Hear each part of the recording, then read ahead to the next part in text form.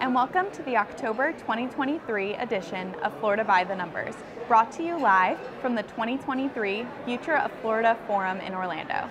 I'm Sheridan Meek, Senior Research Economist for the Florida Chamber Foundation, and I'm going to give you an update on the latest metrics that matter to securing Florida's future. Taking a high-level look at Florida's economy, there have been many changes over the last month. Current labor market statistics were released, as well as updates on the housing market, Floridians' outlook on the economy, and a big win for Florida's manufacturing industry. These metrics and more are tracked on the floridascorecard.org at both the state and the county level. Now let's take a closer look at what these metrics mean for Florida's economy. Looking first at Florida's labor market, employment rose by nearly 20,000 jobs in September, now only slightly below 9.8 million. This was a 0.2% increase over the month and an addition of 241,000 jobs over the year. Although Florida has continued to add jobs since April of 2021, the job growth has seen a downward trend over the past two years. As expected, the trend persisted this month as the annual addition of over 240,000 jobs was a 2.5% increase, down from 2.8 last month. This slower job growth is not necessarily negative, as a deceleration in job growth can help reduce the chances of inflation and a possible recession. The U.S. growth rate ticked up one percentage point, but the big picture remains the same at the national level. Jobs are still being added, but at a slower pace. September's month-over-month job gain was 19,600, an increase of 0.2%. The monthly job gain has remained positive, but has varied from month to month with this monthly increase only slightly larger than last month. Florida only saw an increase in half of the eight major industries over the month, but these figures are susceptible to a lot of fluctuation, so this is not indicative of overall trends. Annual growth rates give us a better picture of the trends in the economy. As mentioned earlier, the 2.5% growth rate in September is a decline from the month prior. Breaking it down by sector, the information industry was the only sector to see a slight decline. This is consistent with last month, still not any indication of an overall trend in the industry, but something to keep an eye on. There has, however, been a trend in the annual industry increases, as the education and health services industry has seen the top growth for the past few months. Now shifting our focus to unemployment. The number of unemployed Floridians increased by 6,000 from August to September, and the unemployment rate increased slightly to 2.8%. This increase in unemployment was also coupled with a slight decline in open jobs, narrowing Florida's gap between available workers and open jobs. Currently, for every 100 jobs needing workers, 76 Floridians are looking for work. Our team has analyzed the open jobs data for the 10 most populous states in the U.S and we have seen that this challenge is not unique to Florida.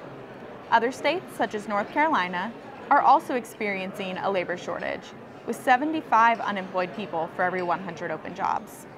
Michigan has a bit more balance in the labor market, with 97 people seeking work for every 100 open jobs.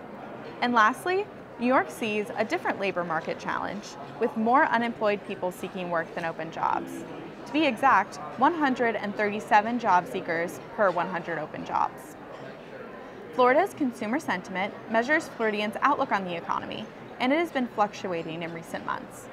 Consumer sentiment saw a decline in September, down 1.2 points from August. This more negative view of the economy is likely because the September figure reflects the impact of Hurricane Idalia.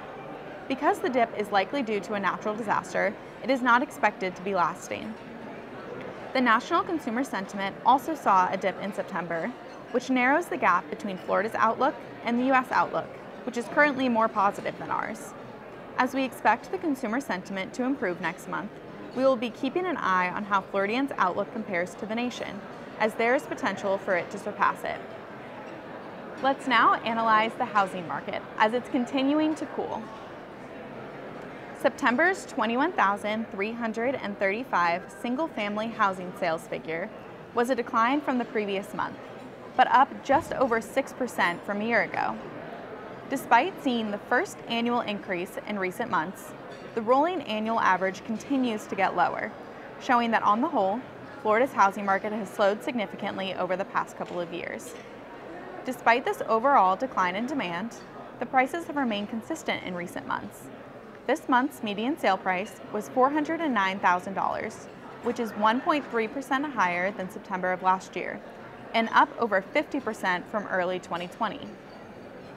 This decline in sales, coupled with consistently high prices, is likely due to prevailing high mortgage rates as consumers await a decrease in interest rates.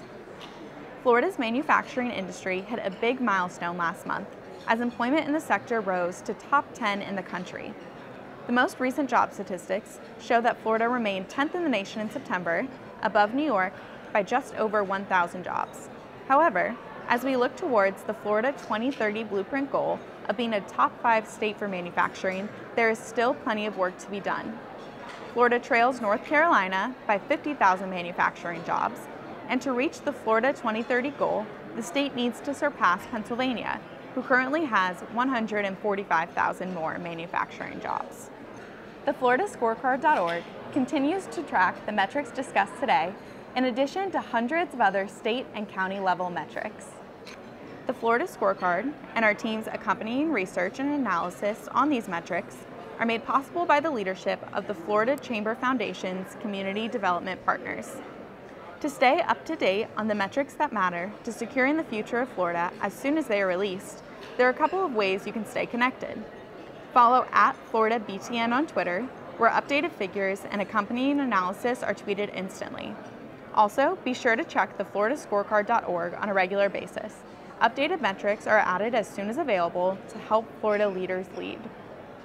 If you have any questions regarding the topics covered today or the work of the Florida Chamber Foundation, please reach out to me or any member of the Foundation team through the information on the screen. From everyone at the Florida Chamber, thank you for tuning in to hear more about the metrics that matter to securing Florida's future. Please join us again in November for another edition of Florida by the Numbers. Thank you.